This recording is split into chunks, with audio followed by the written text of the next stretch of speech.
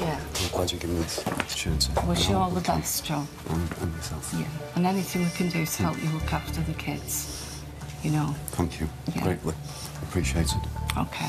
I did sympathise with him, and I do sympathise with him. Um, but we all have our financial obligations, and we've got to live up to them. Time's a good healer. And hopefully one day. But I've got I've got more support on my side now. Hopefully if I can build this friendship up.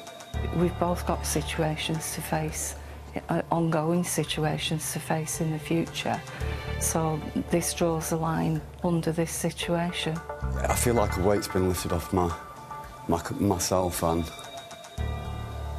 now, as the judge said, I can start hopefully trying to move forward.